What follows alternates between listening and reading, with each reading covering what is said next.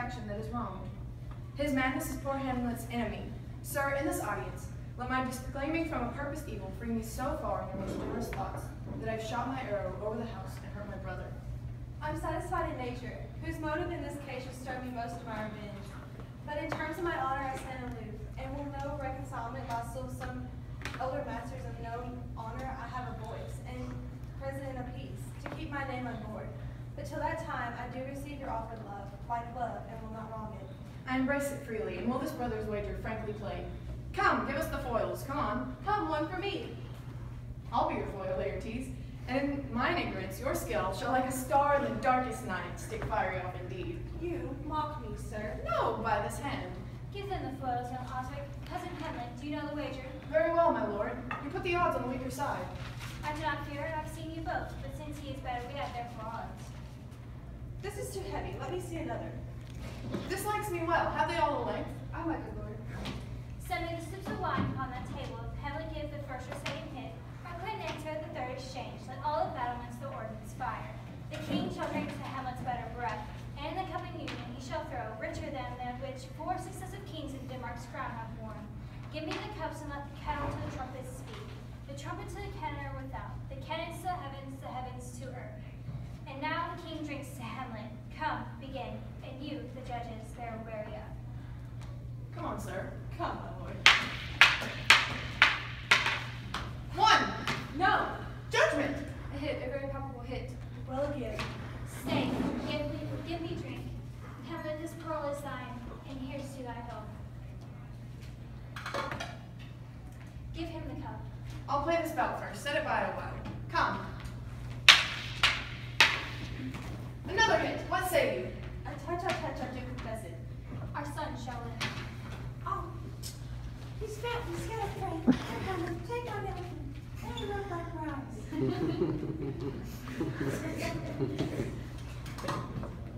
queen crosses to thy fortune, Good, Hamlet. good, madam. Gertrude, do not drink. I will, my lord. I pray you pardon me. It's the poison cup, it's too late. I dare not drink yet, madam. By and by. Come, let me wipe thy face. My lord, I'll think him out. I do not think it. And yet it is almost against my conscience. Come for the third, Laertes. You do but dally. I pray you pass with the best violence. I'm feared you make a wanton of me. Say you so? Come on. Nothing either way. How about you now?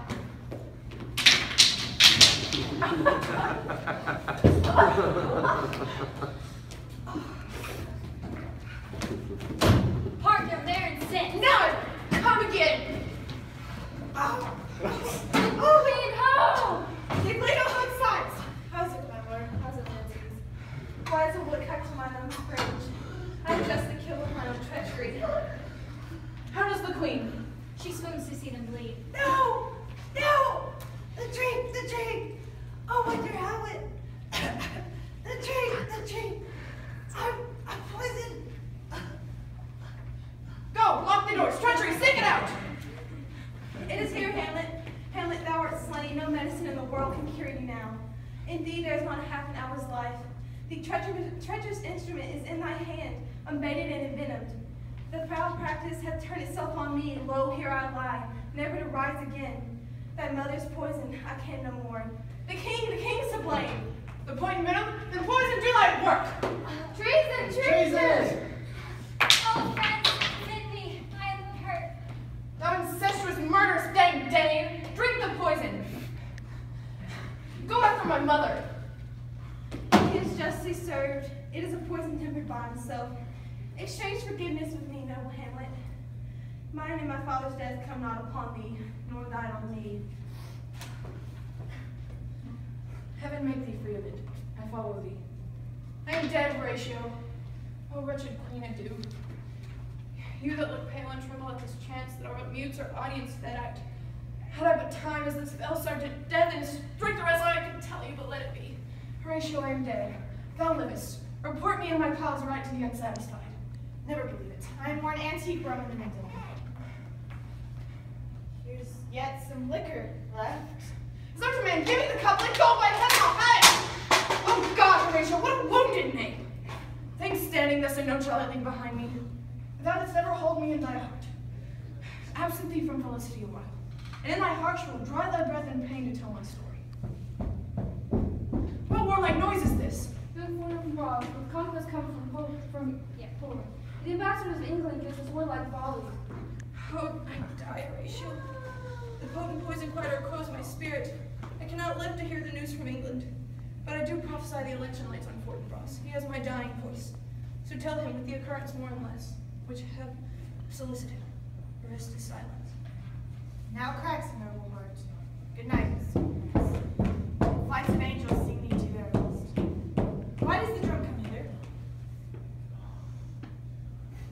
this sight? What is it you would see? If aught of woe or wonder cease your search. Ah, this quarry cries on havoc. Oh, proud death, what feast toward in thy eternal cell that thou so many princes hast so bloody struck? The sight is dismal, and our affairs from England have come too late. The ears are senseless and should give us hearing to tell him his commandments is fulfilled. And Rosencrantz and Guildenstern are dead. Where should we have our thanks? Not from his mouth had the ability of life to thank you. He never gave commandment for their death. But since so jump upon this bloody question, you from the public wars and you from England are here arrived, give order that these bodies high on a stage be placed to the view. And let me speak to the unknowing world how these things came about. So shall you hear of carnal, bloody, and unnatural acts, of accidental judgments, casual slaughters, of deaths put on by cunning and forced cause, and in this upshot, purposes mistook falling on the avengers' heads. All this can I truly deliver. Let us haste to hear it, and call the noblest to the audience. For me, with sorrow I embrace my fortune. I have some rights of memory in this kingdom, which now to claim my vantage shall invite me. Of that I shall also have cause to speak, and from his mouth whose voice will draw more. But let this same be presently performed. Even while men's minds are wild, lest mischance on, air, on plots and errors happen. And the four captains bear Hamlet like a soldier to the stage, for he was likely, having been put on, to prove most royal. And for his passage, the soldiers' music and the rite of war speak loudly for him. Pick up the bodies. Such a sight as this becomes a field, but here shows much in this. Go, bid the soldiers shoot. Very good, very good.